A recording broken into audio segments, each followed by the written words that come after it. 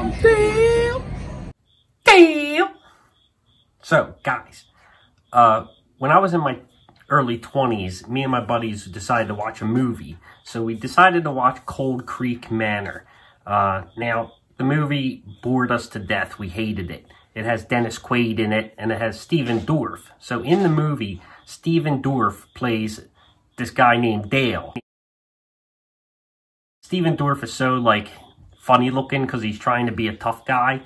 Uh, but it doesn't come across well. I don't know if you guys agree with me or not. But anyway, uh, his name in the movie was Dale. So we were so bored with the movie. We were having a couple beers.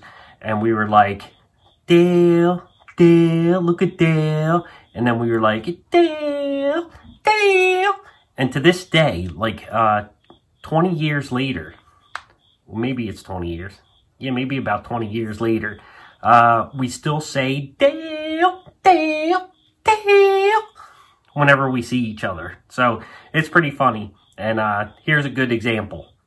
Dale, Dale, Dale.